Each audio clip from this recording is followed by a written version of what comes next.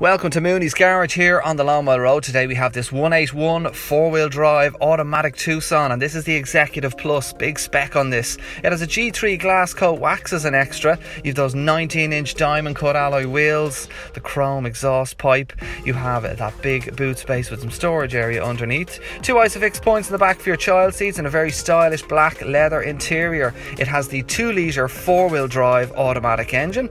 It has the usual storage space and cup holders USB ports to charge your phone, dual climate control with aircon and heated front seats. There's a touchscreen radio that includes your sat nav and reverse parking camera. Moving up to leather steering wheel, you've got Bluetooth and cruise control. There's front and rear electric windows and electric adjustable wing mirrors, all coming as standard.